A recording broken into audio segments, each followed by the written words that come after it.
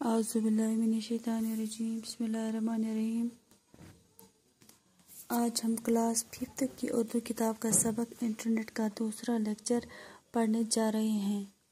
इससे पहले कि मैं आज का सबक शुरू करूँ, मैं पिछले क्लास के सबक का थोड़ा रिवाइज करूँगी ताकि हमें आज के सबक को समझने में आसानी होगी। प्यारे बच्चों पिछले सबक में हमने पढ़ा था कि किसी सदी के इस जदीद दौर में इंटरनेट ने दुनिया को एक ग्लोबल विलेज बनाकर रख दिया है। इंटरनेट ने जहाँ दुनिया भर की मालूम को अपने अंदर सिमट लिया है, वहाँ इसकी वजह से दुनिया के अरबों लोग एक दूसरे से जुड़े हुए हैं।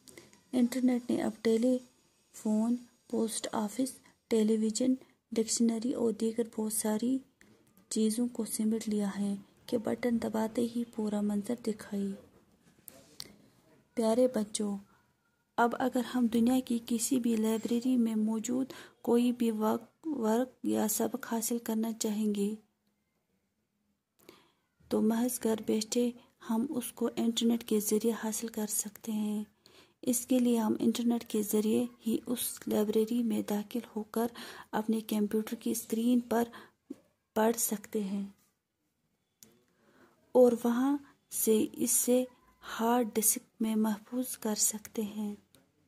इसी तरह अमेरिका, अमरीकी सदर का ऑफ़िस, जिसे वाइट हाउस कहते हैं, कि भी आप घर बैठे ही सैर कर सकते हैं, और इसके लिए सिर्फ़ इंटरनेट की सहूलियत होनी चाहिए, बल्कि अमेरिका जाना कोई शर्त नहीं है।